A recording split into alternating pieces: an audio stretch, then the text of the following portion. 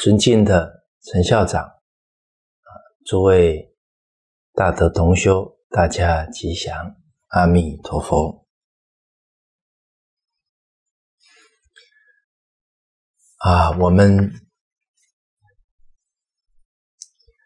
啊学习完啊师父上人呢，啊跟李炳南老师。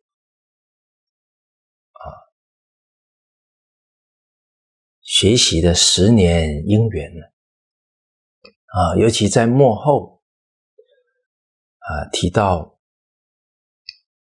希望我们啊能够发心呢，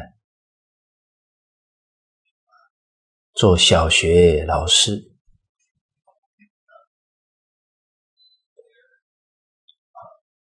这个也是寄望啊。我们能有更优秀的下一代出现，青出于蓝胜于蓝啊，而啊，祖师们也说到，总在遇缘不同啊。万法是缘生啊，缘是他所遇到的因缘条件啊，缘越好啊，他的善根啊，他的能力啊，啊被。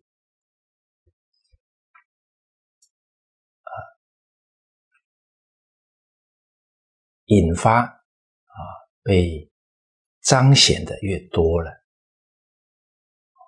啊，所以为什么习孟母择邻处啊？啊，因为在那个年龄啊，啊，外在的环境对小孩影响非常大啊，因为小孩小的时候。这个是非善恶的分辨呢，还没有建立起来，哦，所以好的没污染的环境呢，对他就格外重要了，啊，所以师长常常在讲习当中啊提到，啊，我们这个民族啊，身为长辈的都有。一个态度啊，啊，在小孩面前呢，不要给他不好的影响，这个就是一个长者的慈爱了。所以，我们当父母、当老师的，还在孩子、学生面前控制不住情绪，啊，当场这样骂。打，那就是我们当下的心念呢，啊，被情绪、脾气啊控制住了，自己的理智啊做不了主了，所以，我们当父母、老师啊，一是皆以修身为本。啊，我们能不能扶得住贪嗔痴慢疑呀？我们在教育的过程，这个贪嗔痴慢疑起现行了，啊，我们就不自爱了。怎么爱人呢？啊，掌握情绪啊，才能掌握未来。掌握自己的未来啊！啊，我们不管教育孩子还是教育学生，都是菩萨道场啊！让我们积功累德啊！我们控制不住情绪了。那这造的业就很大了，啊、哦，把下一代毁掉了。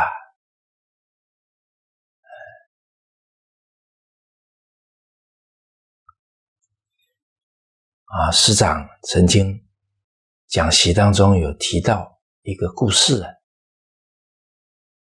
就是堕十九层地狱的故事了。啊，当时候我才二十多岁啊，听到这个故事也是记忆深刻啊。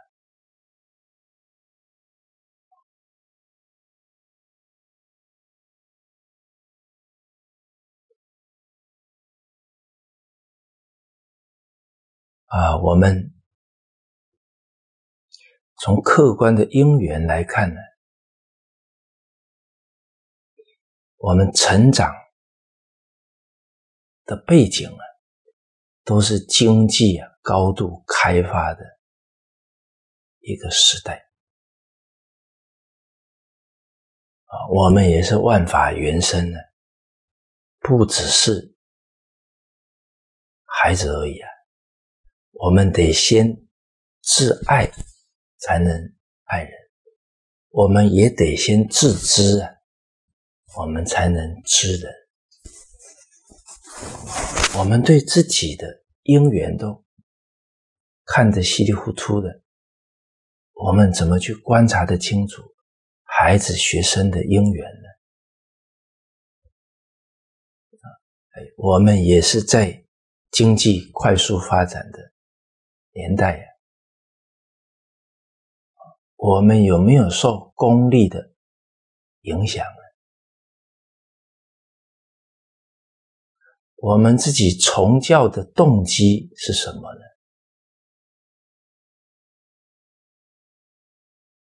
这个我们都要自己问清楚啊。我们面对教育的现况，我们提起的是义。还是利益呢？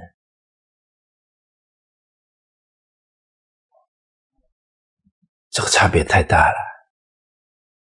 提起义呀，啊，仁义、道义啊，每个行业都有应尽之道义呀。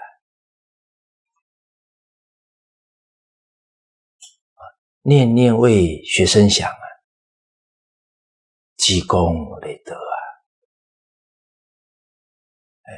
还夹杂着考虑自己的利益、薪水、地位，那这个就是造罪业了。这一念之间呢，天壤之别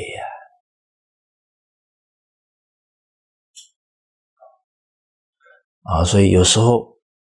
啊我们看到啊，在教育界啊，甚至一次在我们弘扬正法的团体，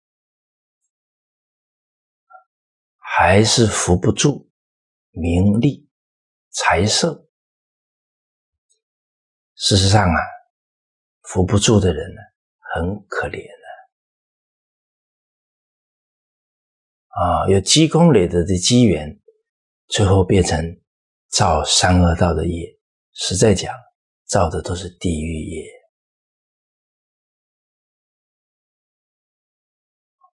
啊，师长教育我们看事情要有前后眼的，有前后眼呢，就不容易着在相上。哦，看到一些不妥当的现象，脾气起来了。那这个没有前后眼，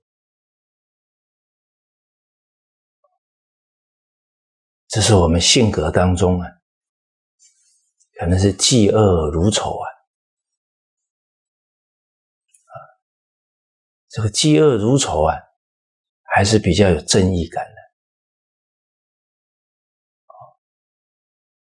但是啊，这个心啊就不够清净，往生极乐世界会有障碍的。但是，其实现在有正义感的人呢，都不算太多了。就顾自己的人不容易有正义感了，见义啊，勇为，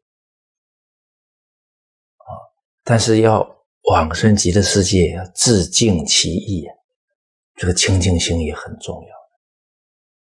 我们面对不平的境界我们还得要练心平气和，还得提起慈悲心呢。啊，因为做这样事的人，他假如没有回头，他那个要堕到三恶道去啊，三途一堕，五千劫呀。所以修行的人不能嫉恶如仇，要在这个境界当中啊，修慈悲心呢。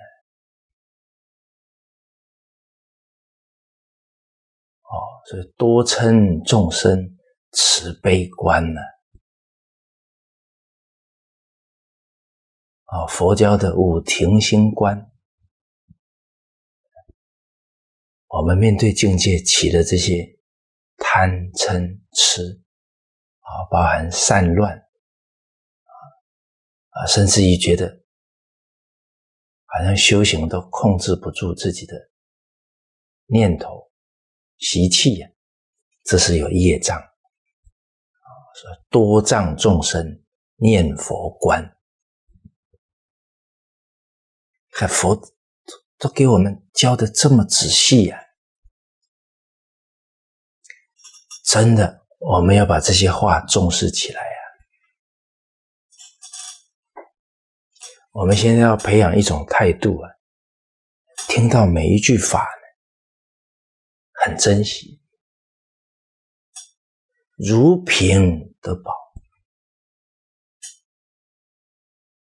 哎，珍惜不是挂在口上的，珍惜是什么？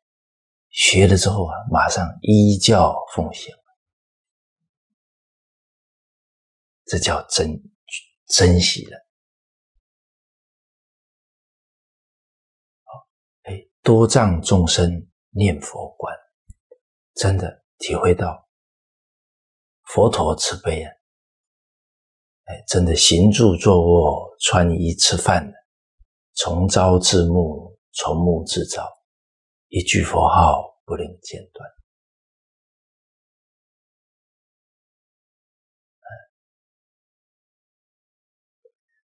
我们也得冷静了解，现在这个时代啊。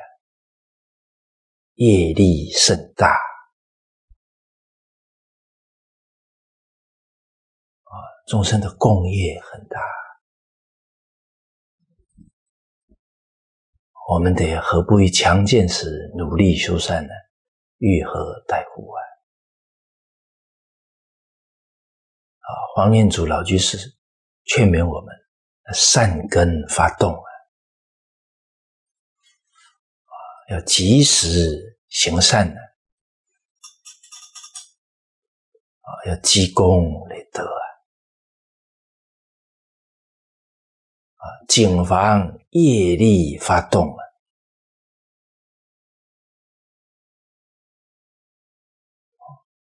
我们在听这些话的时候啊，要自爱，要爱人。啊！我要感化自己，善根发动了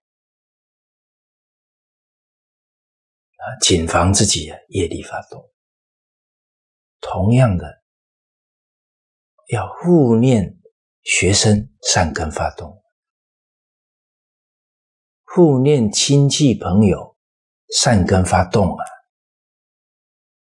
也要谨防学生，谨防亲戚朋友。业力发动，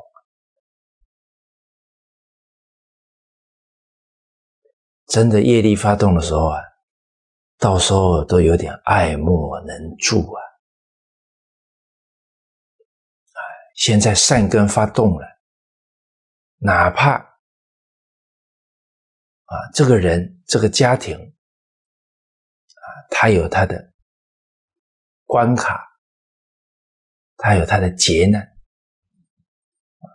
大家有没有见过啊？一个人从出生到寿终正寝啊，全部都是一帆风顺的人了，有没有见过？我看是没见过。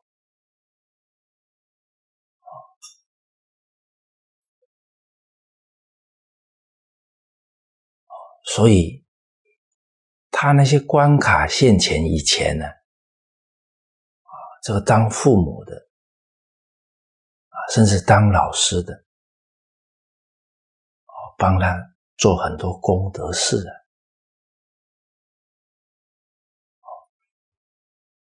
这些都会削弱他的劫难。我们印光祖师很慈悲啊。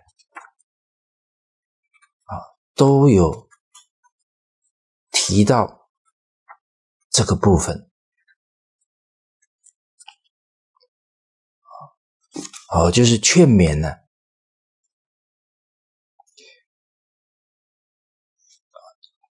这个孩子呢，啊，我们看这个分论，啊，天下太平之根本，啊，前面是总论。后面是分论，我们翻到这个分论第十三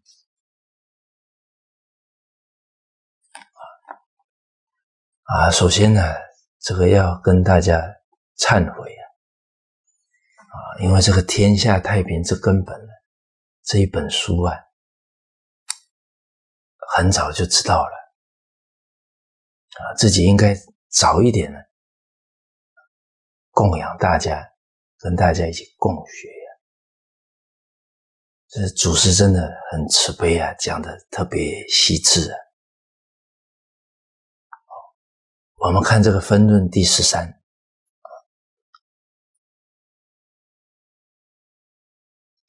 啊，切为父母爱子，无所不至啊，真的。母活一百岁啊，长幼八十耳啊，对子女的这种关怀无所不至啊，啊，尤其在哪里展现呢？疾病的时候，患难的时候，真的会操碎、操碎的心呢。啊，所以为疾病患难更为阴心呢。所以小儿弗能言，弗就是才呀，就才哎会讲话了。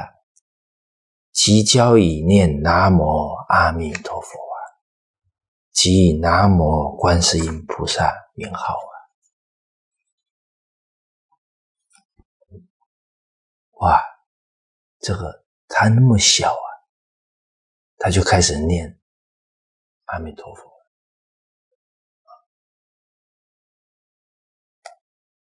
众生有这个万德洪明，能灭众罪啊！果能一向专念，自然过障消除福慧增长啊！而且念的时候啊，佛光就铸造这个孩子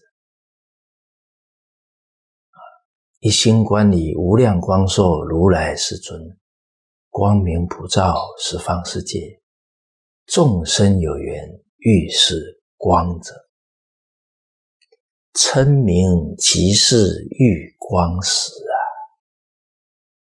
你称这一句佛名，佛光铸造！所以，我们今天在念静修结要啊，念到众生有缘遇是光者。希望谁遇到阿弥陀佛的佛光铸造啊？啊，念着念着，嗯，我自己造就好了。哇，那这个太自私了，这样往生不了哦。啊，往生极乐世界普贤菩萨的法界啊，恶尘种不生哦，只想着自己了脱生死。不能 往生西方极乐世界，啊，往生啊，三辈往生呢，第二十四品啊，三辈都有同样八个字啊，发菩提心哦，一向专念哦，菩提心是大慈悲心的。垢灭善生，身意柔软！所有疾苦莫不休止，一切忧恼莫不解脱啊！所以我们也见过啊，这个孩子在胎里面呢，父母啊啊就是学佛的了啊，这胎教呢常常啊用念佛啊念观世音菩萨给他做胎教。生出来的孩子不会乱吵，很静啊，很乖啊。他遇的缘不同啊，啊，所以这一句总在遇缘不同啊。我们得用心去体会啊，才懂得怎么护念自己啊。遇缘不同，那我每一天要接触什么？我要看什么？我要听什么？这就懂得自爱了，护念自己啊！无量寿经贤护等十六正士，这个贤护啊，首先要会护自己啊。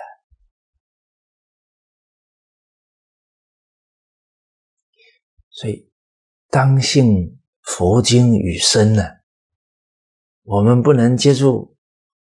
佛法很多了，变成一种状态啊，囫囵吞枣。这一句佛法留在心中都有大用啊！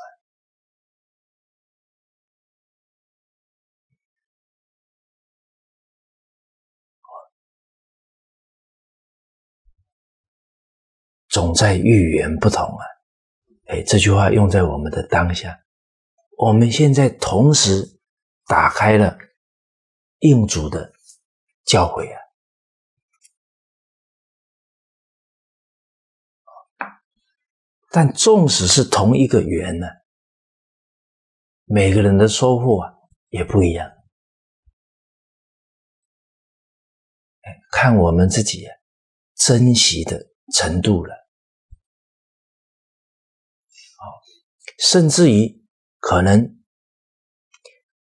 啊，我们要来一起讨论啊，印主的教诲了啊，我以前都看过了，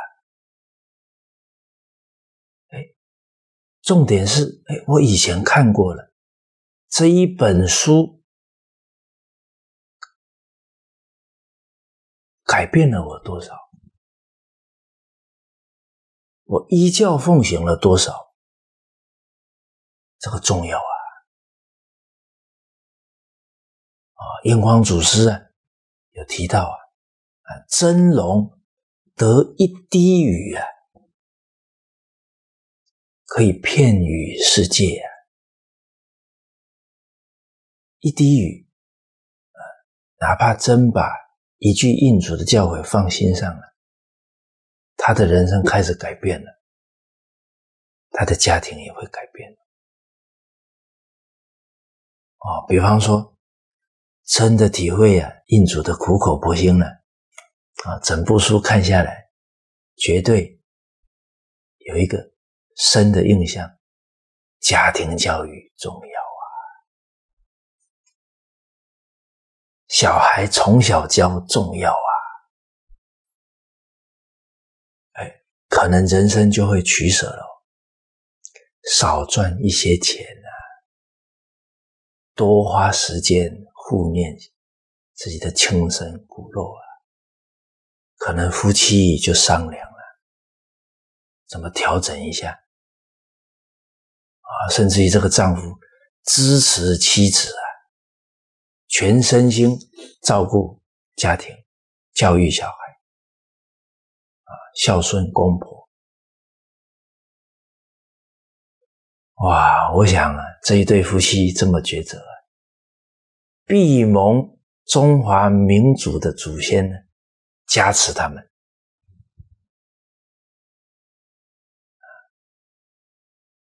I promise，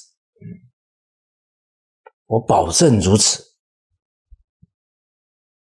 为什么？因为陈德相信啊，中华民族的祖先呢，有多爱护后代子孙就是因为他们这么爱护啊，他们想的方法才能传承五千年呢。这种慈悲智慧啊，我们得感恩呐！啊，发明了汉字文言文啊，全世界现在古文明当中唯一留下来的表意文字啊，那表音的啊，我们不说别的吧，英文呢，莎士比亚。留下来的东西啊，现在人就很难看懂了。那才离我们三百年了，因为它是表音文字啊。啊，表意的话，我们又会文言文，可以直接跟孔子学习啊。你看，三百年前莎士比亚讲的看不懂啊，可是我们中华儿女可以直接跟孔子学习。超越几千年的时空都没有问题啊！所以人生呢，抉择重要啊！真的，我们这个天下太平这根本学下来啊，我个人的感觉呀，我们得放缓脚步啊！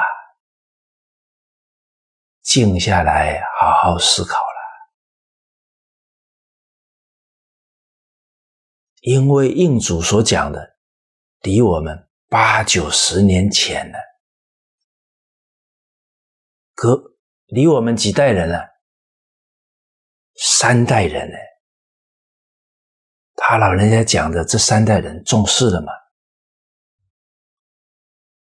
假如重视了。社会不会往下再堕落了啊！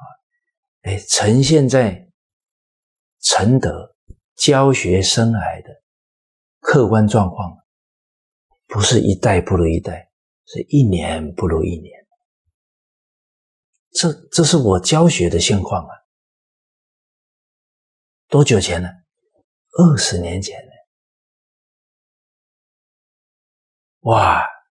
所以我现在看到这些年轻的老师啊，真的对他们肃然起敬了，啊，真是观世音菩萨！大家要知道啊，啊，我好像听到一个调查，小学老师是得忧郁症呢，比较高的一个族群呢。啊，所以他们看到这个情况，还跳下来教书啊，嗯，真的有地藏菩萨的精神啊啊，因为这个菩萨表修德吧，啊，所以四大菩萨呢，是我们学习的榜样啊，要照着他们学。第一个是地藏菩萨，地狱不空，誓不成佛啊。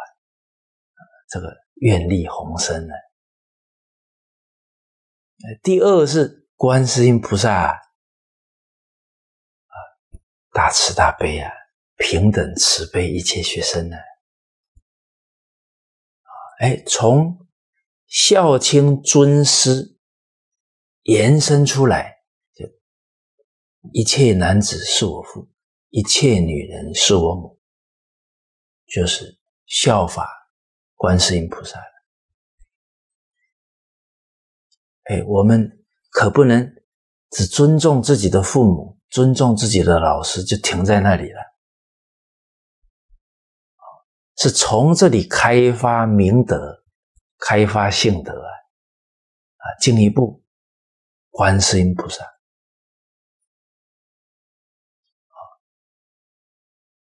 慈悲一切众生呢，而在慈悲的过程呢，慈悲多祸害哦，方便出下流，要有智慧啊，要理智，悲智双运呢。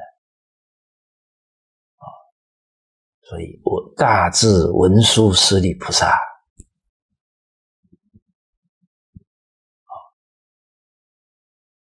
最后呢普贤王菩萨，啊，心包太虚，两周杀戒，啊，菩萨不修普贤行，不能圆成佛道啊，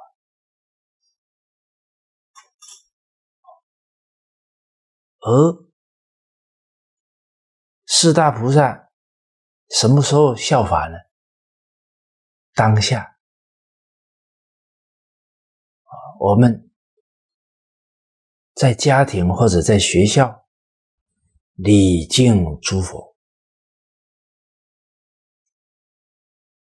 啊，学生他有佛性啊，同仁有佛性啊，啊，哎，自己在家庭里。礼敬每个家人啊，哎，怎么礼敬孩子相信他能成佛啊！礼敬孩子，体现出来尽心尽力啊，护念他，护佛种性啊，长死不绝呀。心大悲啊，名有情啊，这个名有情啊，考虑考虑啊，我的孩子，我的学生以后要面对怎样的社会啊？我们去思考这个问题了。哇，好多需要教哦，争分夺秒啊，帮他扎德行的根呢。就像印主的苦口婆心一样了啊！我也曾经问大众啊啊，因为来的大部分呢都是有小孩的父母了啊，我跟他们提到，哎，你有把握啊，你的孩子不得癌症的，请举手。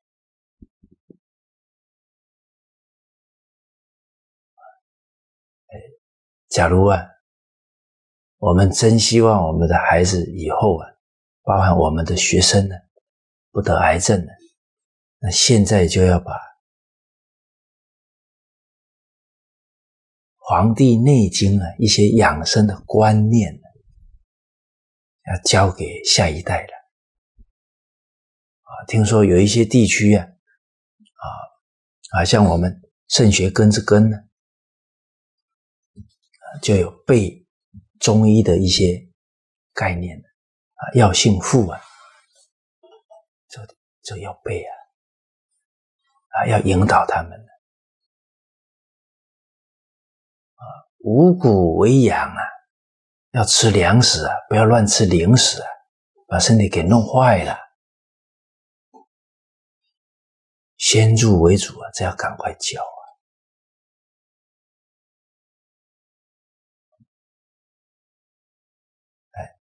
哎，有把握啊，自己的孩子不会得忧郁症的，请举手啊！我一连呢问了他们几个问题啊，有把握你的孩子以后不离婚的，请举手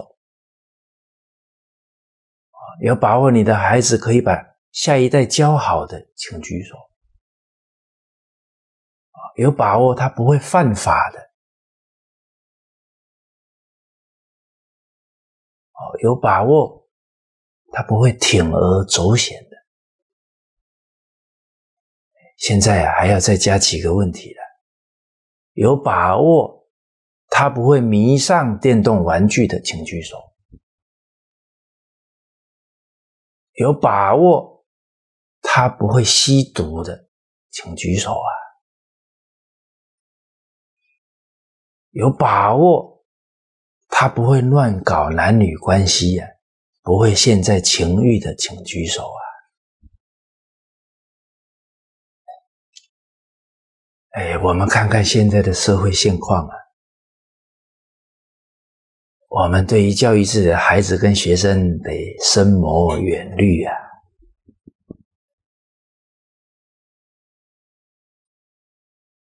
当然，我们首先，要沉淀沉淀呢，反观自己走过的人生呢，我们汲取深刻的教训呢。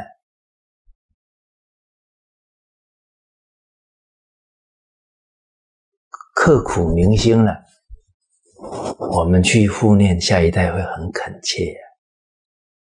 再来，我们走过的错路啊，才不会让下一代一样跟着走。所以，当时候我在教书的时候啊，我不逼孩孩子的成绩的，因为我就是这样过来的。哇，我们也曾经经历过啊，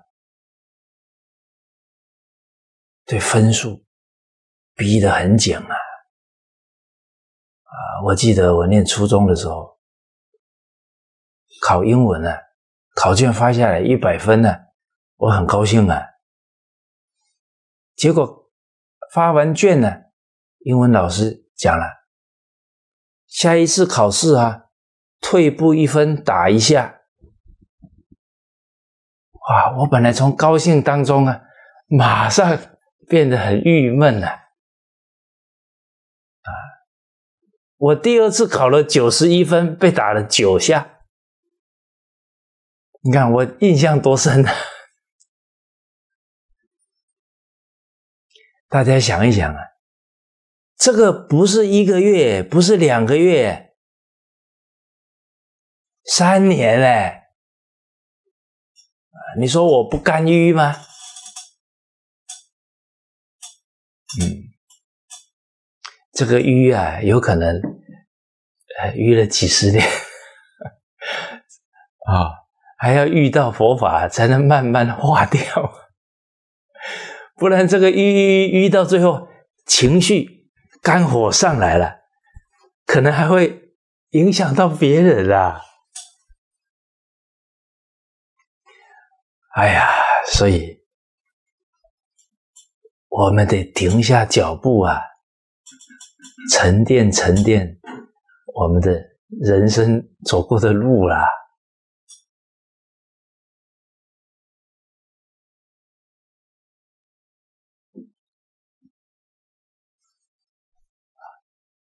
纵使遇到的情况啊，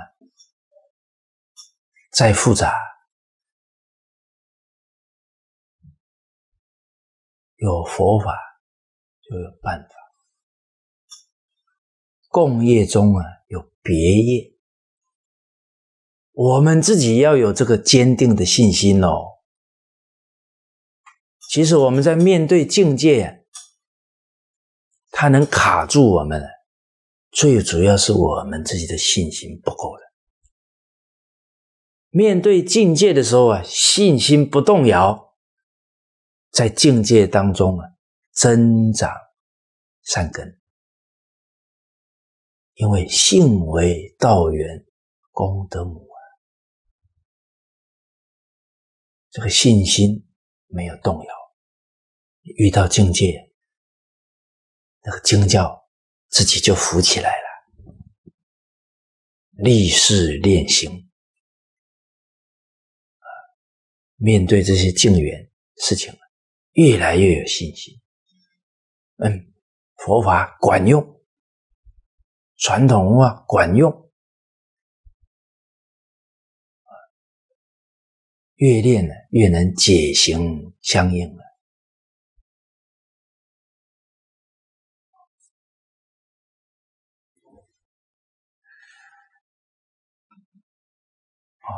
就像我们刚刚看到印主说的，孩子刚会说话，教他念观世音菩萨。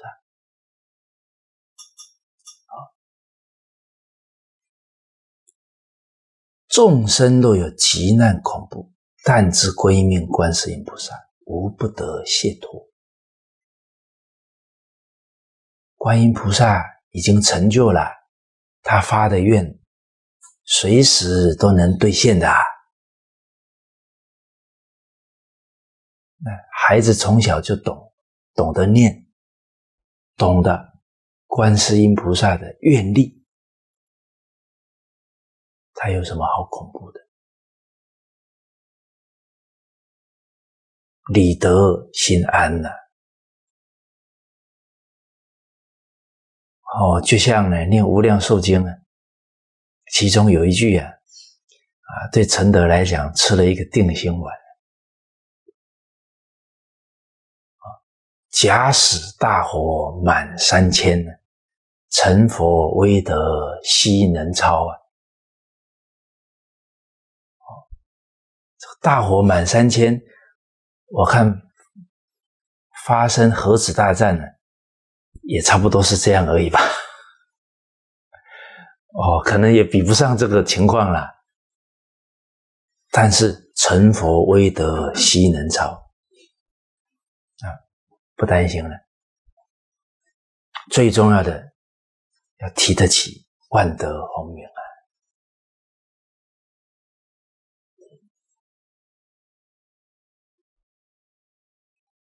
啊，所以刚刚。跟大家提到啊，黄念祖老居士说要善根发动，善根什么时候发动？啊，跟着念一句佛，善根就增长；念一句观音，善根就增长了。看到父母的德行，善根就增长了。啊，听到父母。好的教诲，善根就增长在整个家庭啊和和的氛围、潜移默化当中，善根都在增长啊！所以古语有说啊：“孔子家而不是骂，不知道什么叫骂人。”曾子家而不是动，曾子家的小孩不知道什么叫打仗啊，啊，争吵呃争斗啊，不知道。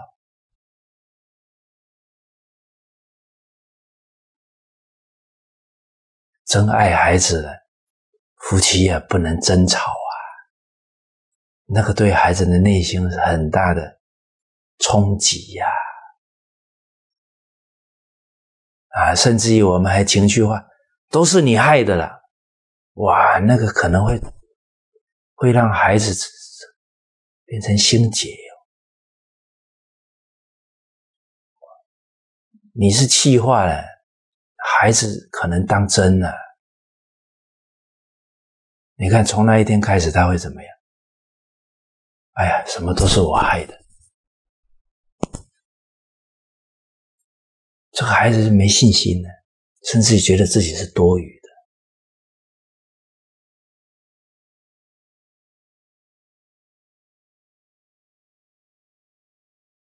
我们真的心地要柔软。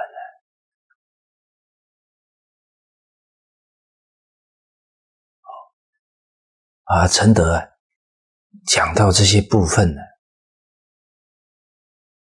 都觉得真的。堂上二老是活佛啊！父母真的是孩子最重要的护法，真是护法神啊！你说一个人人生过程当中会遇到多少财色名利的诱惑？有可能没遇过吗？不可能的。可是我们在那个境缘当中，能够提起义，不是提起利，那跟家庭教育啊息息相关啊。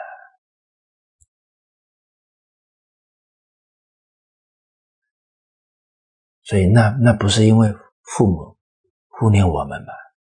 不然我们这一脚可能就踩错了。你看，父母假如从小就教孩子啊会讲话了，就在那念阿弥陀佛、观世音菩萨。哇，你看这个孩子必成此善力呀，必能祸消于未蒙啊。我们现在为什么解决问题难？都是业力发动的时候啊。哎，释迦族业力发动，佛陀也没办法。但是在释迦族里面呢，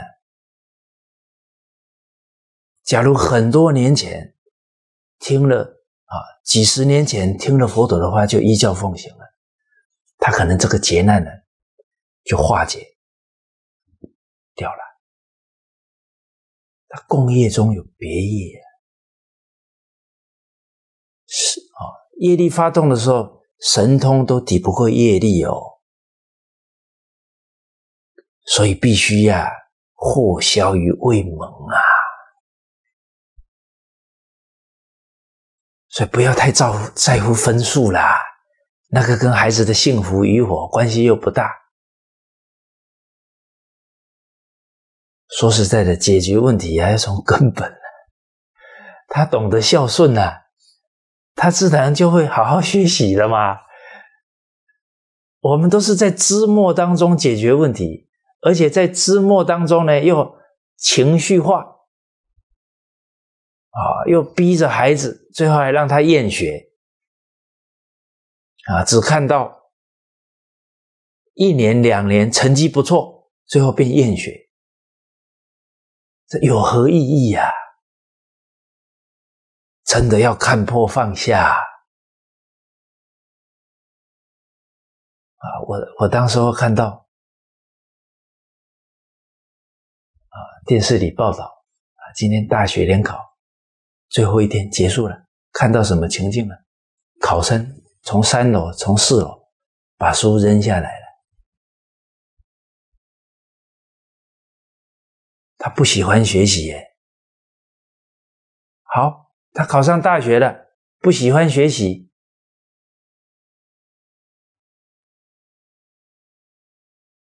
大学甚至出社会啊，那是最需要学习的时候啊。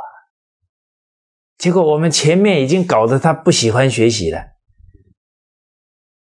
只看到他上大学问题就解决了，有这么简单吗？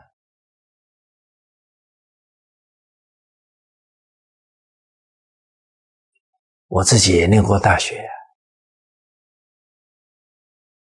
我看同学们喜欢学习的，微乎其微啊！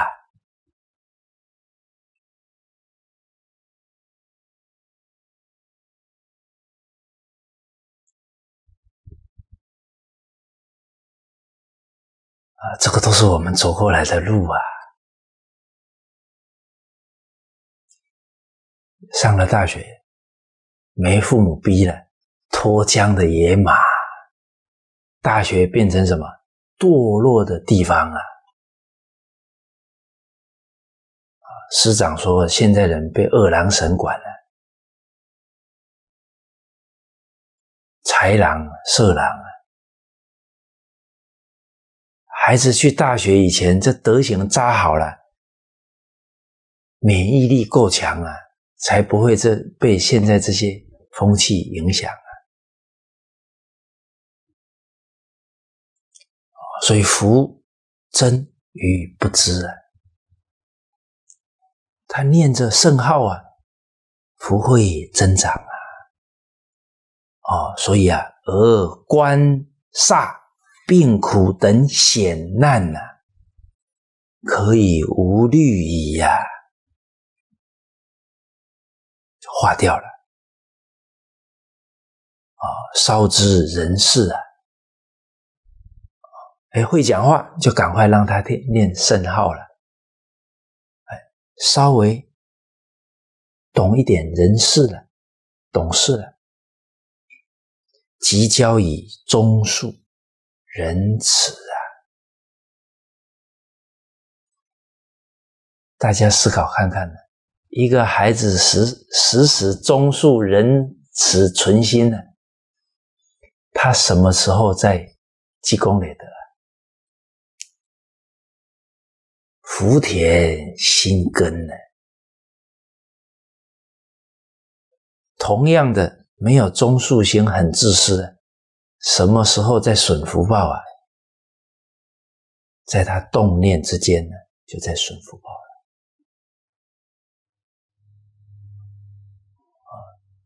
我不知道大家有没有留心到啊？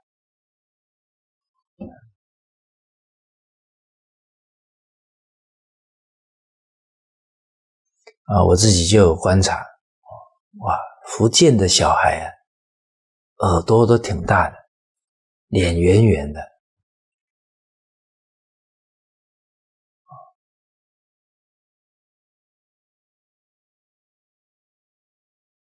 朱熹呀。到了，他在宋朝的时候到了福建去，他有说：“此地古称佛国啊。”所以这个福建呢，受佛教的教化影响很大。你看我们很熟悉的这些高僧，弘一大师，那包含我们台湾大家都。认识的高僧广清老和尚啊，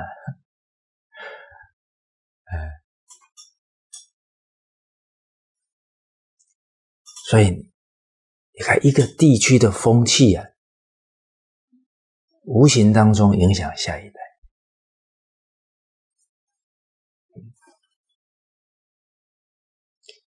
所以福建省的同胞们有责任了。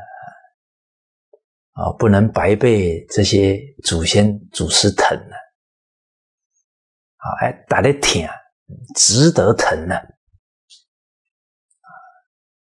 啊，要带头啊，啊，弘扬中华文化，啊，我自己也观察台湾，哎，我爷爷那一辈的，爸爸这一辈的，到我这一辈，再看下一辈。那个看起来呢，耳垂越来越小了。哦，我爷爷奶奶的耳垂特别大，所以我现在常常得拉。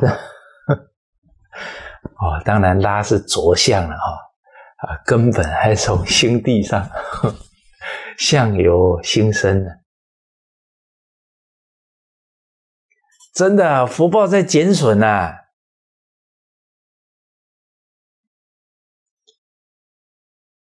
哦，所以教孩子忠恕仁慈啊，戒杀放生。哎，真的，我们现在看看到这里啊，都很感叹呢。啊，假如小时候我们就懂得要戒杀，这真的不知道少造多少业。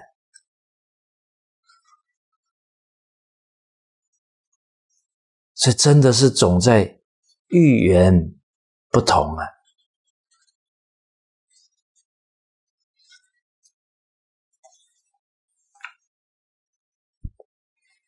哦，我这个手上哎，快两公分的刀口啊，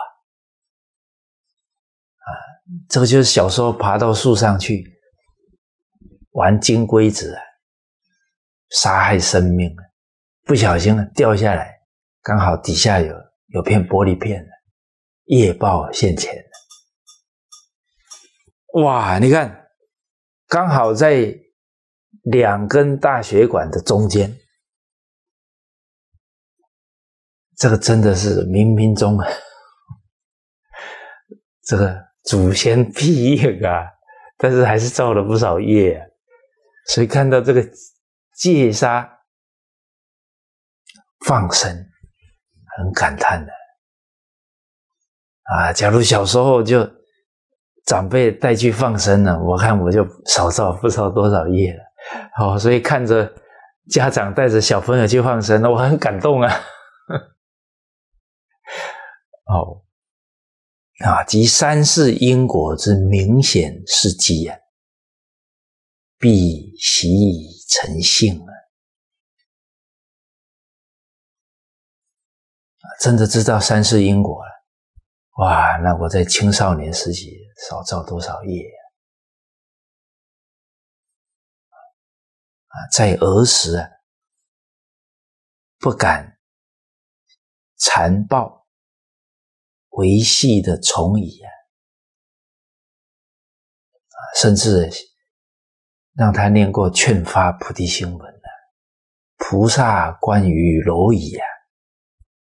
皆是过去父母，未来诸佛啊，常施利益啊，念报其恩呢。哦，我们看小朋友从小学传统文化，看到昆虫，给他三皈依呀，怎么忍心再去伤害呢？啊所以长而断不治，作奸作恶，为父母祖先之辱啊！啊，不会侮辱祖先的啊，德有伤，贻亲羞啊！啊，他有羞耻心的所以我们看呢，印光祖师多次提到。啊，叫他孝悌忠信，礼义廉耻，耻之于人大矣呀！以其得之为圣贤，失之为禽兽了。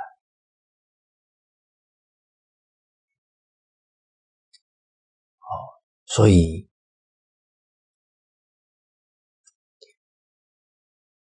我们这一代人呢，责任重大，承先启后啊！师长劝勉弟子们发心啊，做小学教员。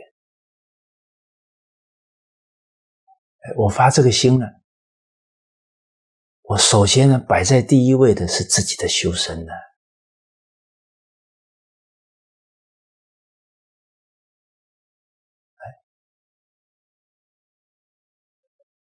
而家庭教育是根本的，所以印光几祖师大声疾呼啊，挽救世道人心最重要、最重要的家庭教育，因果报应，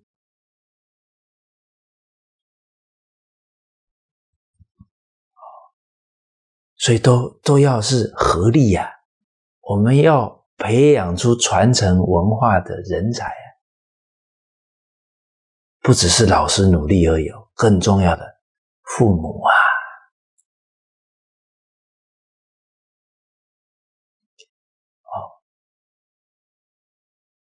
当然，印光祖师这些教诲啊，不止父母要懂啊，当老师的也都要懂啊，不然怎么配合啊？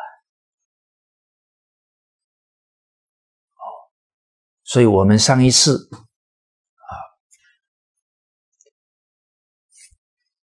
啊一起学习呀，这个天下太平之根本，我们列了一些纲要，抛砖引玉呀，一定啊会漏了不少重点所以啊，大家还是完整的把它看完。甚至也要多看几遍的，印象才会深刻。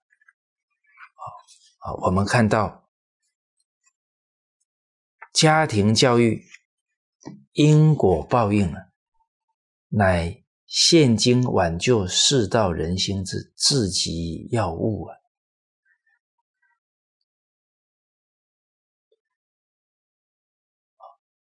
啊，若不从此着手，则繁琐错字皆属之末。这个遣词用句啊，我们得体会到啊，皆属之末，就是通通都是本末倒置的教育了，舍本逐末了，徒劳无功。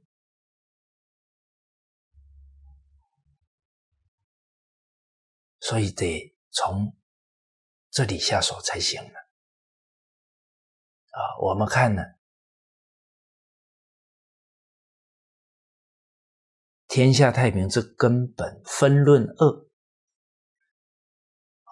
我们看一下这一段：小儿从有知识时啊，就开始懂事了，即教以孝悌忠信、礼义廉耻之道。他明白五伦八德，明白伦理道德，耻于作恶啊！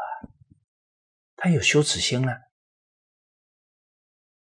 哎，接下来即三世因果、六道轮回之事啊！啊，他明白因果，不敢作恶，他有敬畏心。一个孩子有敬畏心，有羞耻心啊！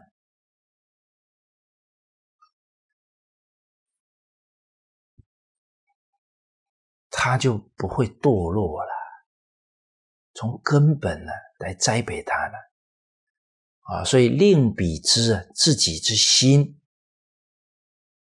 这个都很重要啊。假如还没教啊，现在赶快教了，让他体会到自己之心与天地鬼神、佛菩萨之心息息相通啊。这个是真相啊！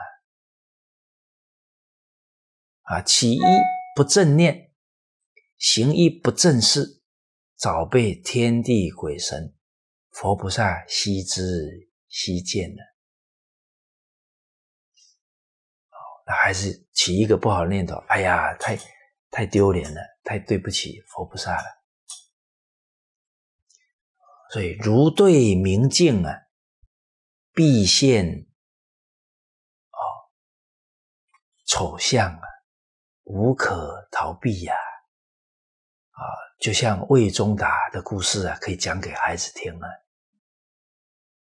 他到了阴间呢，啊，把他的恶拿出来，哇，充满了一间房子。我才差不多四十岁啊，怎么会有这么多恶啊？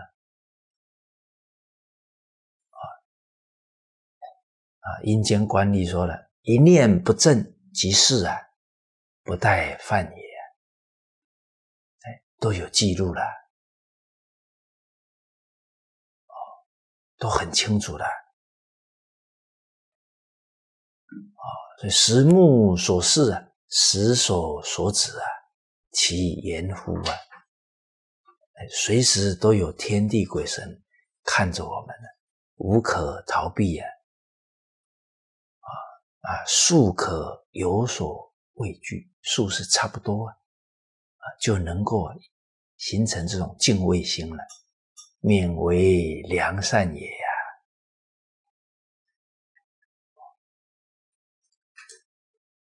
这个假如他稍微五六岁懂事了，就这么教他，这个孩子就。浩然正气了，啊，所以无论何人呢，即以必仆小儿，亦不许打骂。啊，你有福报，但是也不能呢，不恭敬人呢。啊，教以敬事尊长，卑以自牧啊，还懂得敬重尊长。又懂得谦卑啊，务须啊敬习自止，尊重圣人的教诲爱惜五谷啊，不糟蹋粮食啊，啊，而且还爱惜衣服啊，一收一饭，当是来处不易啊！半丝半缕，恒念物力维艰呢。我们看现在糟蹋多严重啊！可是不能怪小孩啊！我们去餐厅看看呢，那倒掉的食物有多少啊？暴殄天物啊！啊，即使其实真正爱惜粮食啊，什么时候学到的？啊，对我自己来讲啊，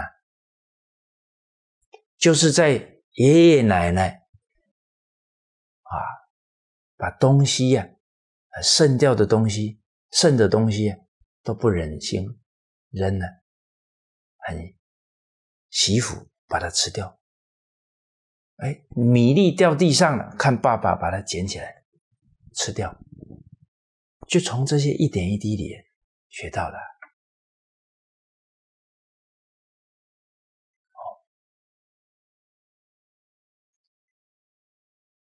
以前我们有浪费太多粮食了，要忏悔。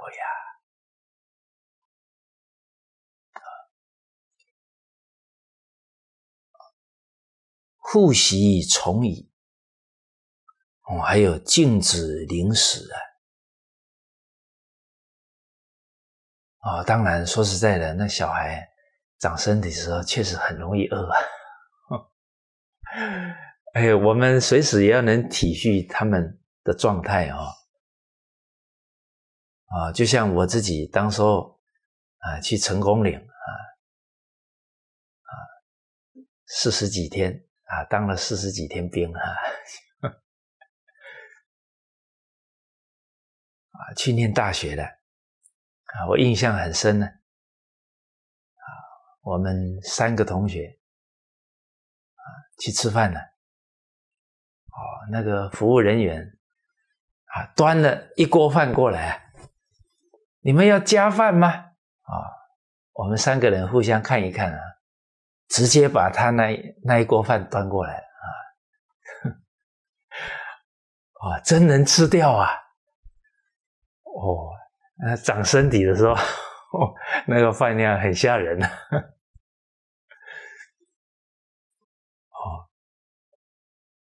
好，哦，所以我当时候教六年级的学生，有的身高都比我高了，那个都在还在长呢。啊，尤其到十点了，肚子饿了，啊啊，这个台湾里人呢，有有那个胚芽饼啊啊，没有加任何防腐剂的啊啊，这个我不是打广告啊，哦，因为要做这样的饼干也不简单了，我们也是水洗功德啊。哎，当说要做这个饼干也不简单了，啊，去去找这个啊工厂啊，那工厂的老板不可能啊，这样的饼干做不出来的。哦，是那个发心的同修啊，一再劝劝，不然你做一次看看嘛，拗不过他了，做出来。哎，很好吃的，所以人现在呀，受到本来的那个惯性思考，都觉得不可能。所以为什么做榜样很重要？连饼干都要有榜样。哎，所以很多地方可以行菩萨道，积功累德。哎，哦，把吃的东西。啊啊！没有农药，没有化肥啊！啊，真的能把它做出来，都是功德无量啊！没有添加剂，所以禁止零食啊，免治受病啊！我看到这里啊，哎呀，我小时候假如少喝一些汽水就好了。啊，这个大夫一的一把脉，嗯，你的寒气怎么这么重，汽水喝太多啊，到现在呀，都影响还在呢。啊，所以能如此教啊，大了决定了贤善呐。啊，若小时任性惯，概不教训呢。大了不是庸流，变成匪类了。庸流就是很平庸了，匪类就是会干坏事了。此时后悔啊！了无所益呀！我们看现在大学生毕业了，不出去工作，在那里玩电动玩具，庸流啦！大家不要小看这个一直在那打电动玩具的危害呀！你看他关在那里都不出去晒太阳啊，也不活动啊，他的阳气就越来越弱了。那这这些都都电子产品啊，都有这些负面的能量呢。所以要常带孩子出去大自然走走啊，把那个负面的能量啊、电要放掉啊。所以，为什么现在忧郁症越来越多了？跟这个都有关系的。哦，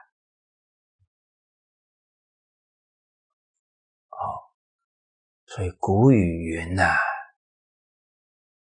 交付出来，交而婴孩呀，赶紧要交了，真是自己要悟啊！”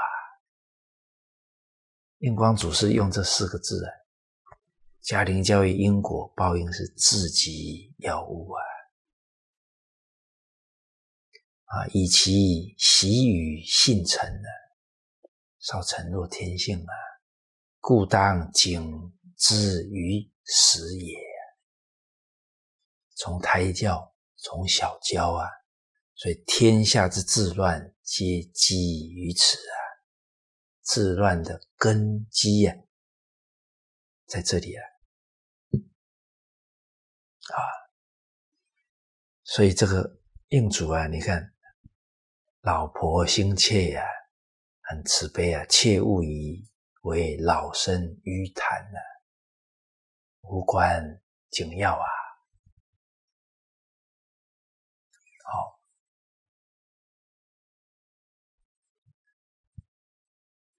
好，哦，所以这个第一点呢。唤醒我们的使命感了。好，我们看第二点提到了，天下治乱之本在于匹夫匹妇啊，只能敬伦敬分与否。尤其是当父母的人呢，以身作则啊，啊，因为天下之本在国啊，国之本在家，家之本在身呢。修身为本呢，哦哦，而且这里印光祖师讲了，所言敦伦敬分，这个对我们修学的人重要。敦伦敬分，贤邪纯诚呢，就是善男子、善女人，就是《阿弥陀经》里面。讲的善男子、善女人呢，是可以当生成就的当机者哦。啊，没有敦伦敬分，那每天都还在造业啦。要当生成就，要随缘消旧业，不再造新殃啊。我们每天还不敦伦敬分，又在造新殃了。哦，所以当生成就啊，要重视印光祖师啊，这十六个字啊，敦伦敬奋，贤邪纯诚，信愿念佛啊，求生净土啊。好。敦伦敬奋，贤邪纯诚是助修啊；信愿念佛，求生净土正修啊，正助双修啊。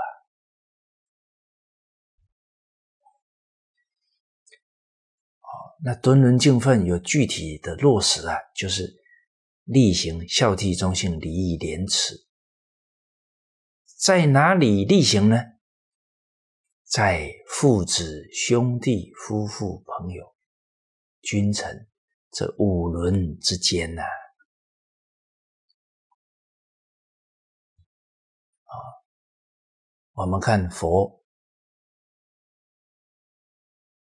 啊，见到韦提西夫人，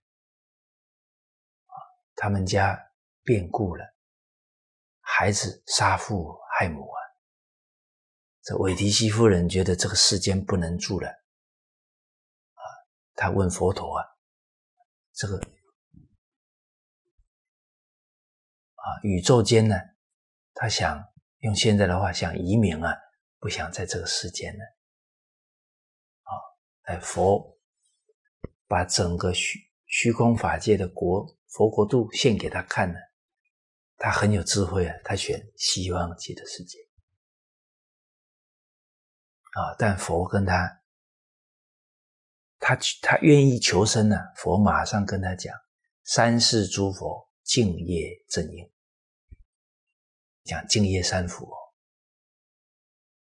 所以要当生成就啊，一定要落实敬业三福，尤其要做到第一福，因为是善男子、善女人的标准。”所以孝养父母啊，我们佛弟子要从这里落实啊。奉事师长，依教奉行啊，啊，慈心不杀，修十善业，不修十善业，每天还在造十二业呢。所以我们。遇到无量劫来稀有难逢之一日哦，不能错过无量劫来积累的善根福德哦，这一生一定啊，要做大丈夫出轮回啊，不能再搞轮回了，轮回路险了，哦，所以要落实。敬业三福第一福，就要落实五伦八德啊。好，所以啊，祈勉我们呢啊，第三点大点，真佛弟子啊，须于伦常道理，必须格外认真呐，敬敬仪敬分呢。说实在的。没有应主啊，没有师长啊，我们学大乘佛法真的不够重视自己的本分呢。啊记得当时候师长强调啊，学《弟子规》啊，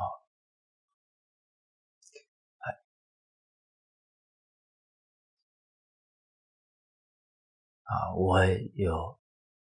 遇到不少同修啊，都会觉得我学的是当生成就的佛法，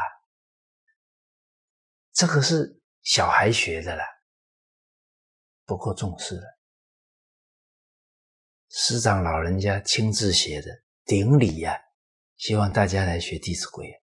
大家一看师长这么写呀，不敢不去了。不然也是不够重视啊！其实你看，印光祖师就已经在大声疾呼了，所以真的不可少善根福德因缘。听懂祖师的话，听懂师长的话哦，哎，诸位同道，我们不要觉得，哎，我播经机每天拿在手上啊，我每天都听师长讲经啊，每天听不代表听懂啦，懂了。懂的那个就变成自己的生活、工作、处事待人了。哦，所以阿弥陀这一经这一句，不可少善根福德因缘，得生彼国啊！不可少善根福德因缘，听懂师长的话。听懂祖师的话，所以印光祖师这一本《天下太平》这根本善根不够啊，会不珍惜哦；福德不够啊，不会照着做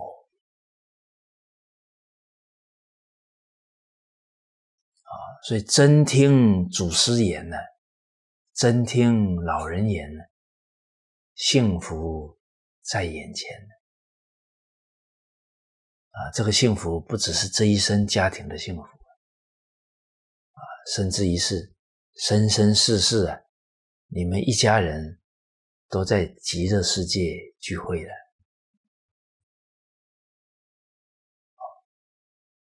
所谓但愿人长久啊！唯有念弥陀啊，啊，清眷永团聚呀，啊，法界逍遥游啊，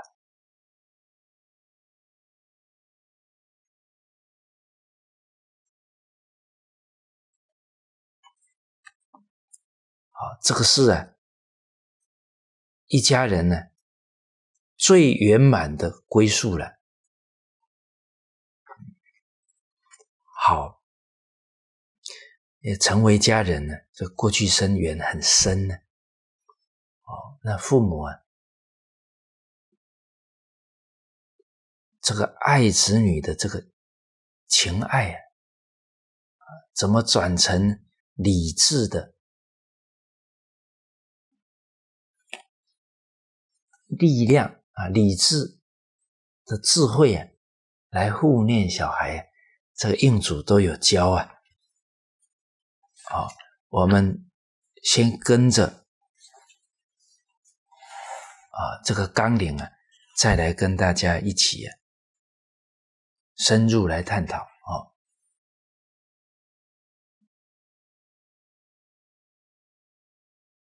啊，真佛弟子啊。要重视敦伦敬分，因为啊，要做表率啊，不然会破坏佛门的形象啊。啊，所以倘于伦常有缺欠呢，便难以感化同仁了。不止感化不了啊，还让人家产生误解了。啊，我我都有遇过啊。很愿意捐钱呢，给佛门呢。可是自己的员工的薪水啊，很抠啊。你说他他的员工会怎么想啊？这这个这个学佛的这沽名钓誉的，哇！人家一看到他，哎呀，大护法、大善人呢。哇，他的员工听了，哎呀，不认可。哎，他的员工也有嘴巴呢，会怎么样？哎呀，那学佛的都都是好名的，所以啊，我们不能这个给佛菩萨脸上抹黑啊，军人成忠啊。我们这个爱心，首先由近而远呐，这是因缘不同啊。由亲而疏啊，不然我们这个五伦都表错法了，流弊很大啊！我都有听过一个讲课的老师，女老师啊。她常常出去讲课，她婆婆生气了，都给人家出去讲孝道，也不煮饭给我吃。你说，你说这个啊，被陈德听到哦，保证都不知道传几个人 啊！我听到的都不是第一手资料哈。啊，我印象很深呢。嗯，零六年见到一个幼儿园园长啊，他跟我讲啊，他当地有一个幼儿园园长啊，常常都到呢那个千年的道场去去做义工。他说到那个道场去做有功德啦，然后自己的幼儿园呢。没有用心照顾好啊！你看，这是一个教育局局长跟我讲的。你说这一件事都传了多少人啊？他不知道啊，最大的功德就在把他园里这些小朋友教好，教好一个，那个功德就不好算了。哦，所以，我我们啊那一次啊，我们在双溪小组啊，大家一起探讨传统文化啊，我们见到这个张园长啊，啊颇感欣慰啊。哦，一个幼儿园园长好好护念小孩，这些小孩的祖先都在保佑你你的幼儿园啊。I promise。为什么他的家家族兴衰就在这里啦？人同此心啊，心同此理啊，不止人会同啊，十法界都是相通的啦，这些理都是相通的了。哦，所以学传统哎，弘扬传统文化的人，不要说。哎呀，走这条路很孤独，哎，可能呢，你会突然听到空中有声音说：“我们常常陪你呢，你怎么说孤独啊？”啊，哦，所以这静修节要第三十一拜，一心观理，尽虚空，遍法界，常住三宝，十方护法菩萨。金刚、梵天、龙神、圣贤等众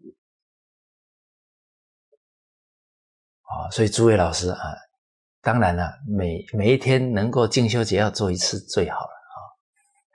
再来呢，你要进教室以前啊啊，还是讲上了讲台啊，还没有开始授课啊啊，心里啊啊，把这一拜啊默念一下。啊，这一念呢，请到的佛菩萨跟护法神无量无边的啊，所以佛菩萨同体大悲啊，要相信这个真相啊，就不会觉得孤独了啊。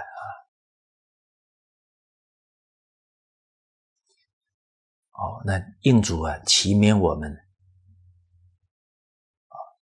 我们。在家修学，即俗修真啊！现居士身而说法者，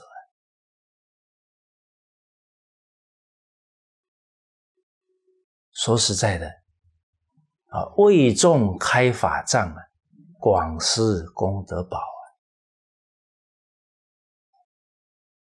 啊，开笔智慧眼，获得光明身。请问现在人的苦恼在哪里啊？家家有本难念的经啊。现在我觉得这一句还不够形容。现在是人有心有千千结。你现在对对一切要学佛的大众，先讲什么？先讲敦伦敬分呐。先把他伦常里面的困惑，你可以把它解开来啊。你这些都给他解不开，他会觉得佛法管用吗？他会觉得，嗯，这个是很好，这个跟我临终有关系，跟现在有没有关？哎，我我遇到很多亲戚朋友啊，哎，佛法很好哎，我五十岁再再来学。哎，有这种观念的人不在少数哦，因为他没有看到人家把佛法用在现在。假如有人给他表演，他铁定当下就学了，因为他就面对这些问题啊，面对这些困扰啊，啊，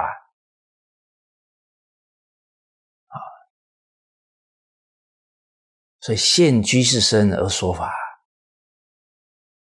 己利利人呢。自利利的啊，我也有遇过同仁啊，很想出家啊，我就跟他说了，首先我要问他，你为什么想出家？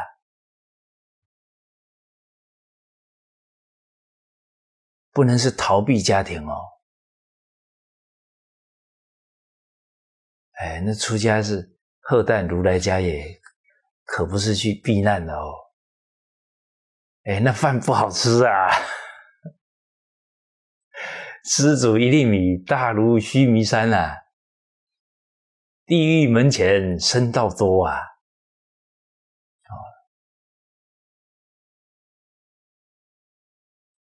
哦，你要想清楚，你为什么要出家？再来哦。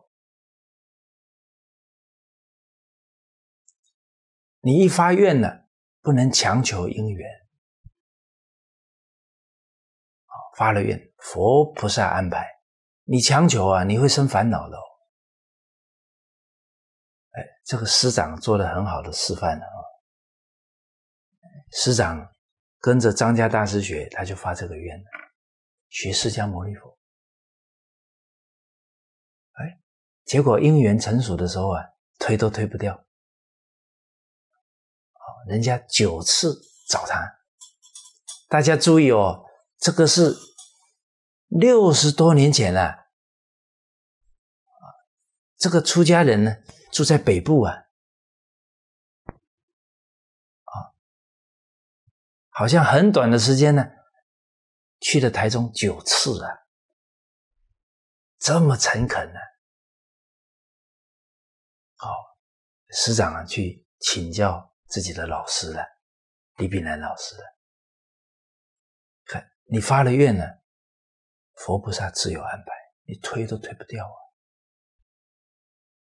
啊，因为我们出家，毕竟我们不是从小学的，我们也得找一个好的环境啊，还要有一个好的指导老师啊，哦，有这些因缘配套啊。可不能太激动了，啊！出了小家，入了大家，到时候是非人我更多啊，那那就很遗憾了。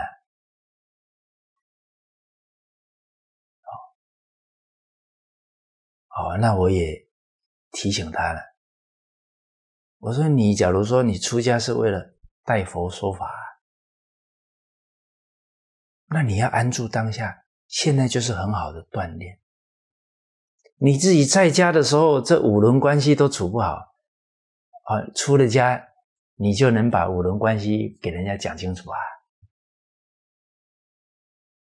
给人家互念好啊，有这个可能吗？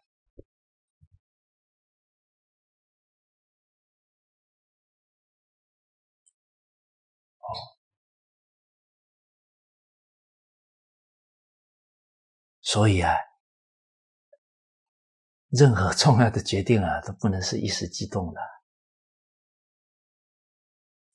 甚至于啊，缘分都要让它水到渠成，瓜熟蒂落啊。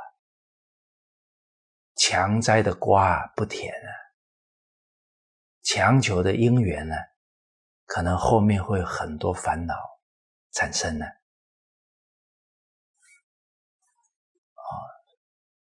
所以阿难尊者啊，做了七个梦啊，其中有一个梦也是预言末法时期啊，居士说法会不少啊。哦，那诸位。同道啊，当今之事啊，舍我其谁呀？哎，大家可不要觉得这个阿难做梦跟自己没关系啊，这个都是配合佛陀来教化，都是演来提醒我们的哦。好，我们假如觉得跟我没关系，哇，这个七十二贤。这摇头了，我们都是表演来启发你们的，你们都不用心看，要看懂真子啊，看懂子路啊，看懂冉求啊，看懂阿难啊，尊者，阿难尊者七个梦啊，有一个是须弥山在他的顶上啊，他拖着不觉得重啊，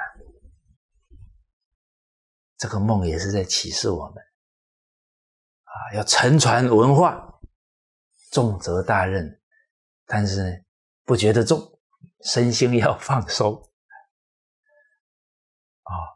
不要觉得重啊！师长教教导我们，佛菩萨祖先承担 啊！我把心用对就好了，那就护好自己的心嘛。又不是很复杂，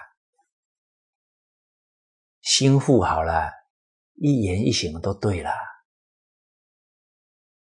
一言一行对了，家人也好，学生也好，都往好的方向发展了。啊，医报随着正报转。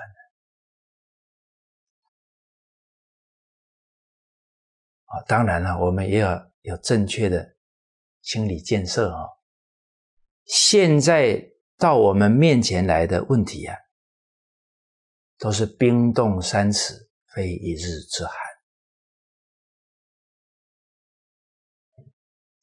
所以我们要有耐心，我们要用我们的耐心去带动家长，带动相关的人，一起有耐心啊。来面对，大家心都用对了，这个情况就慢慢改善了。没有不能解决的事情，不可能。哦，佛法是圆满的，不可能不能解决。哪怕他眼看着就要下地狱了，都能解决。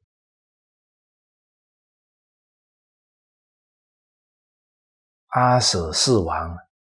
杀父害母，眼看要堕地狱了，最后呢，佛让他念阿弥陀佛，他去做佛了，上品众生，连地狱业报都现前，都还能解决呢。现在啊，有肯解决的心啊，都不会嫌晚。有一句话叫“放下屠刀”。立地成佛，能放下错误的想法看法，能随顺圣贤佛菩萨教诲，都可以立地扭转乾坤呐！就怕我们不听不肯照做而已啊！我们首先要对传统文化、对佛法有这个信心哦。好我们看第四点呢，家庭教育啊，乃治国平天下之根本。啊，它底下，第一点，天下人才啊，必从家庭中出啊，这必然的。家庭有善教，自然子女皆贤善；家庭无善教啊，子女之有天资者，他本来天赋挺好的哦，习为狂妄。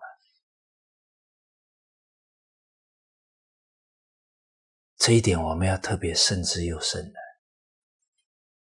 你生到天之好的儿女啊，没有教好啊，他会造很多的业呀。我们父母有有责任哦，有罪过哦。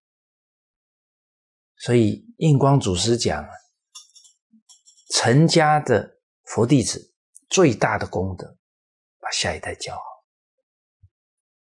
他会遇到多少的人啊？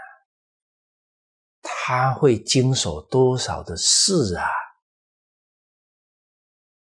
你把他教好了，这些人都得利益了，这功德很难算哦。没把他教好，他会伤害多少人？他会障碍多少事啊？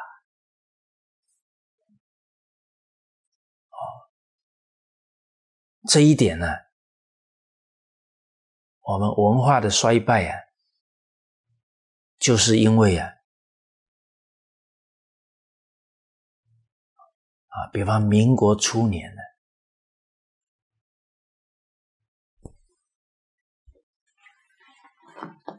有一些学传统文化的呢，他喊出什么“废经废伦”呢？才华很高哦，我们有引以为戒的吗？这都是走过来的历史哦。所以我们看这个总论呢，好，我们翻开《天下太平之根本》第三页，这个总论呢，印主一开始就强调家庭教育的重要啊。而母教啊，乃是啊贤才未起，天下太平之根本啊！不于此讲求啊，自何可得乎啊？不可能的了，只会越来越乱呐，不可能大治的。而家庭母教啊，啊，而。母教啊，第一是胎教啊，胎教乃教育啊秉直之初啊啊啊，这个生命一开始，他在胎中啊，就在受教育了啊，所以凡女人受孕之后啊，务必居心动念行事啊。为臣为警啊，一举一动不失于正啊啊！由于啊，永断心昏，日常念佛，令胎儿禀受母之正气，则其生时啊，必安乐无苦啊。所生儿女必相貌端严，性情慈善。天资聪明啊！啊，这样的孩子我见过，见的时候啊，印象深刻。那个眼睛啊，很亮啊，真的眼睛是灵魂之窗啊，你都可以感觉他那个气质，就是啊，跟一般的小孩不一样。很明显的，啊，接着啊，印主讲了，啊，他稍微懂事一点的，教他做人的道理呀，伦理道德啊，三世因果，六道轮回，啊，有敬畏心，啊，还让他念佛念观音，增福增寿啊，免灾免难，啊，不许说谎话。说是非，啊，不许呀打人骂人，不许糟蹋自己五谷，不能糟蹋一切东西，啊，不许乱吃食物啊。刚刚我们都提过了啊，不许与同里群儿俱戏，就是这些。等于是品行不端正的啊，不能跟他们混在一起，因为小孩很小，真的哦，学好中年不足啊，学坏一日有余啊。哦，不要说小孩了，自己就很有感觉，还念初中，哇，那个氛围啊！讲脏话，你不知不觉就开始讲了。哎，在家里面呢，一句也不会讲啊，哎，受影响了，会讲，好快呀，那都是初中生了呢，那更何况是五六岁的孩子，所以稍长啊，即令熟读《太上感应篇》。文昌帝君阴字文，关帝绝世经，啊啊，让他知道啊，有所有法，有所施法，以这个为标准来效法，有所境界啊，知道什么该做，什么不该做啊。啊，一一为其略说大意呀，以以为后来读书受益之前导，这都是基础哦。啊，幼时能打这样的根基了，越读书越贤善，不患不到圣贤地位，光宗耀祖也啊。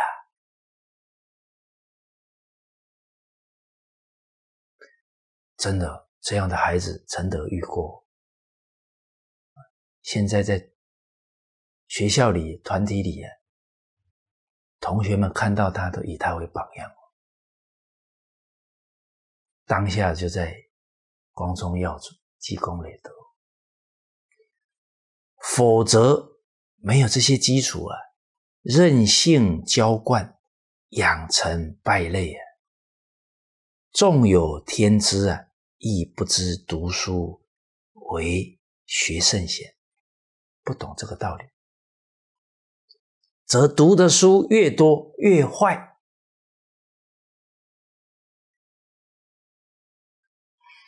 所以啊，教有天资的孩子责任更重大。古今啊，这个不是古而已哦，今也是哦，大奸大恶之人，皆是。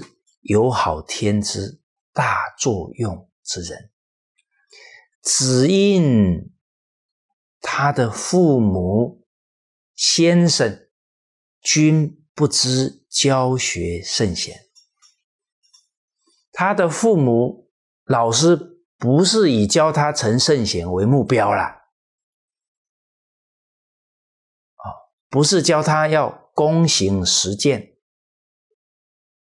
指令学文字，哎，多背一些书，好写文章啊，好写论文啊，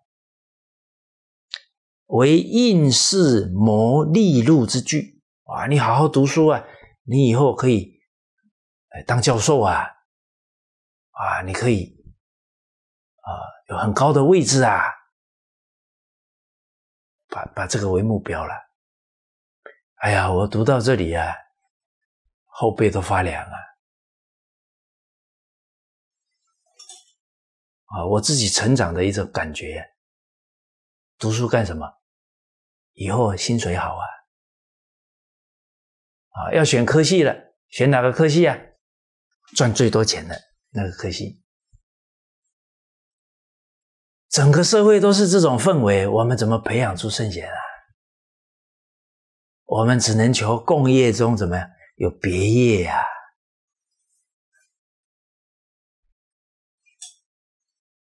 所以我们要是真的要好好醒思啊，这几代人走过来的路啊。所以父母老师这么教了，其治世之下劣已到极底呀。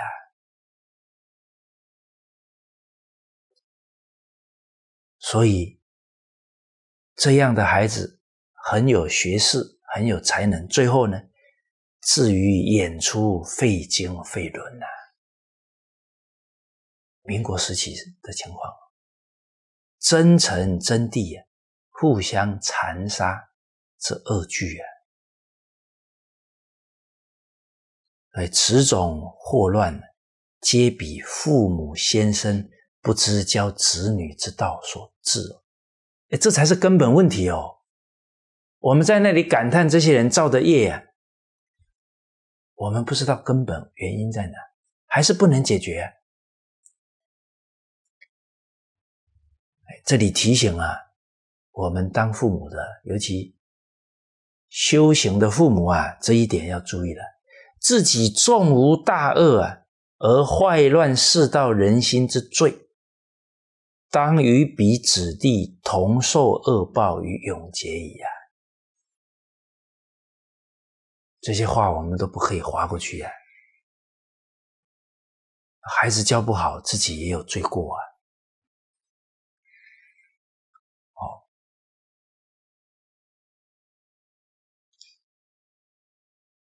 哦，所以这一句呀，有天知啊，你不好好教，会变成狂妄啊，不得不慎啊。无天资者啊，会狭于玩恶啊。啊，他没有天资呢，但是呢，他变成邪恶了，变成行尸走肉了，只知。吃喝玩乐，现在这样的人还不知道不进，不是少数哦。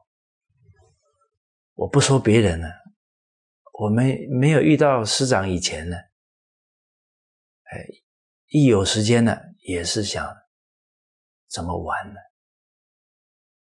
不知道生命的意义在哪里呀？哦，啊，这个。啊，玩也是玩略了，啊，玩世不恭了。哎，现在真的，哦，哎，不算有什么才能呢，但是对人也都不恭敬哦，对长辈也是不恭敬哦，谁也都不理呀。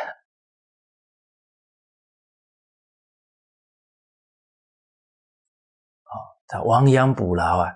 犹未晚矣呀！那父母能认知到啊，我之前没好好身教言教教他啊，父母自己忏悔，忏悔业障是菩提心哦，那个真心会流出来哦。你的孩子纵使已经十几岁、二十几岁了，人的真诚心现前呢，会感动。孩子头，精诚所至，金石为开呀！应主提醒啊，没有好好教啊，天资有天资跟没天资的两者皆为国家社会之蠹了，变成蠹虫了，对这个社会都有害了。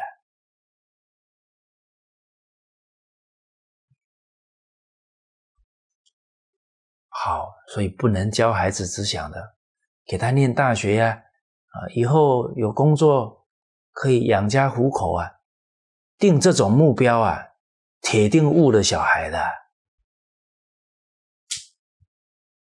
因为他只有自己的利益嘛，他怎么去为别人想呢？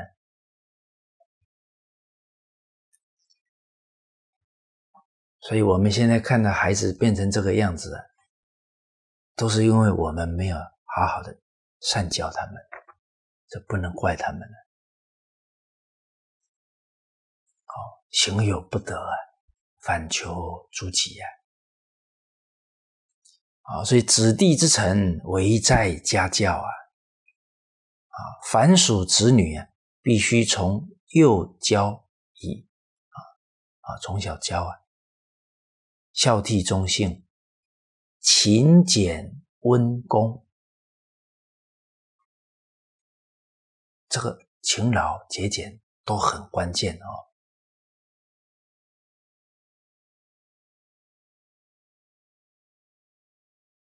现在孩子啊，很没有信心呢，跟没有做家务啊很有关系。因为他到一个地方啊，这些东西他都帮不上忙，不会做，干在那里看。你说他会很有信心吗？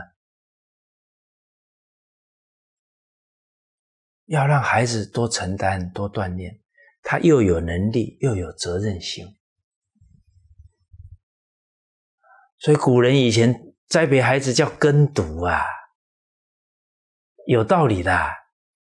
每天窝着看书啊，血气都不通了，身体不好，都有劳作啊。而而且耕耕作的时候啊，都是在太阳下，动生阳啊，哦，照太阳也生阳啊。啊，不然会缺维他命 D 呀。他在动的时候，为什么？我帮我的父母啊多分担一点，善生养，孝生养啊，这个正气凛然呐，要劳作啊。啊，这个我们。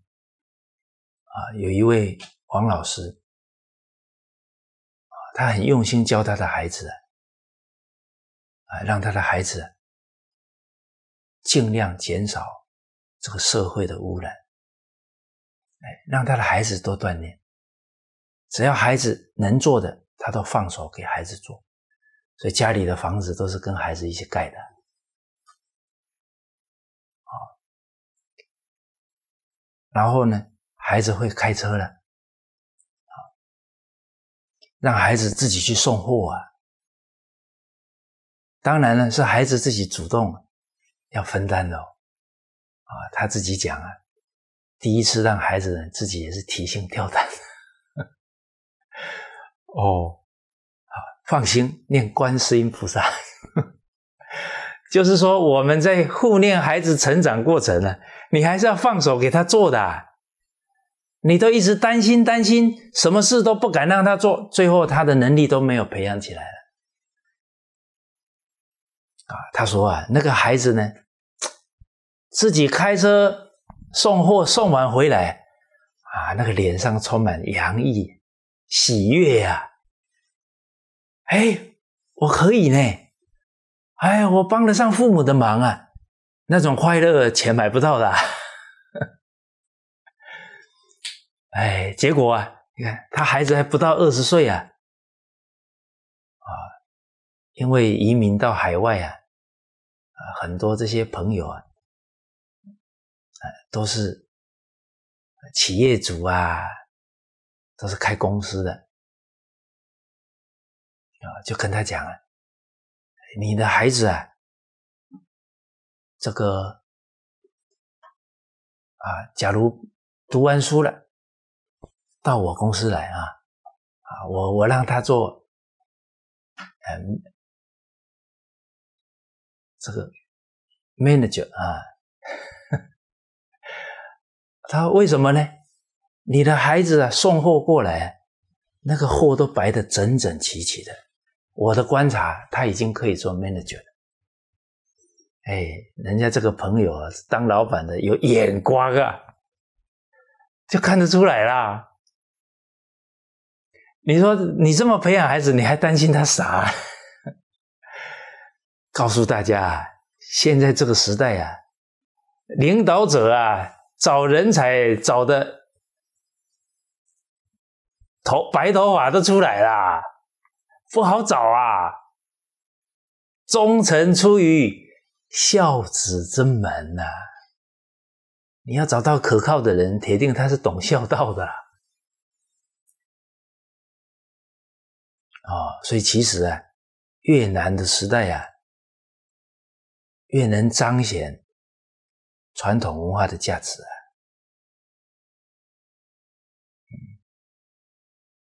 哦，所以看到这里说，勤啊，勤劳劳动啊，重要啊，温公啊，哦，我相信他的孩子出去送货的时候，对每一个人很恭敬啊，人家都看在眼里呀。啊，自其长而入学读书啊，方有受益之机呀。这个“机”这个字啊，在印祖这一篇书的教诲里出现多次了，根基重要啊！啊，所以家家夫妇啊，皆知道义啊，给予因果。啊，啊，敦本重伦，躬行不渝啊，这个就是。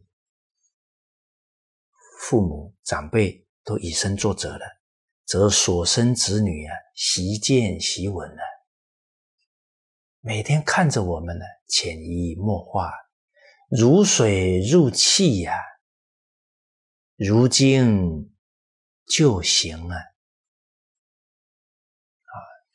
这个金属入了模子了，就是变成那个形状了，啊，所以其性情。至诚贤善